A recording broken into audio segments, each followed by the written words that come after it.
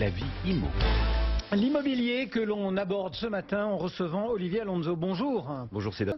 Euh, dites-nous un petit peu euh, qui, vous êtes pour qu'on voit euh, comment aborder un petit peu les, choses ce matin?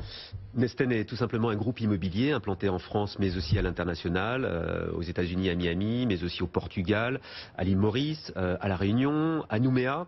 On réalise grosso modo une 20 000 transactions par an, plus de 114 millions de chiffres d'affaires.